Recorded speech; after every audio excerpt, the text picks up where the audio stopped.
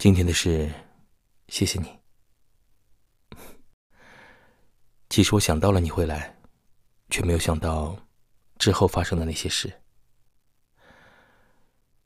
对于你，我好像计划过许多开始，却始终猜不到结局。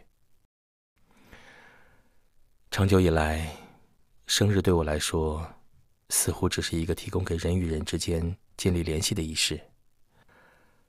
但我的出生和成长，和那些试图与我建立联系的人并无关系。而那些真正有关的人，你在听吗？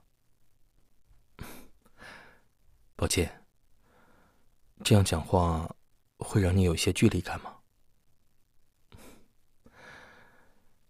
其实有时，我会故意想要和你之间拉开一些距离，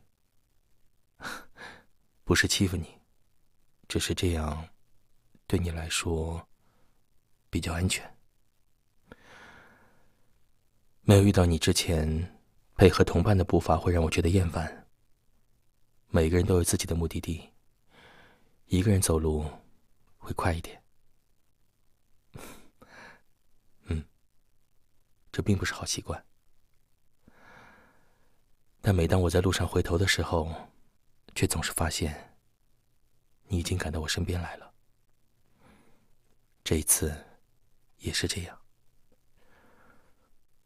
或许在这个世界上，只有你能让我忍不住回头，又或者，只有你能一次又一次的抵达我的身边。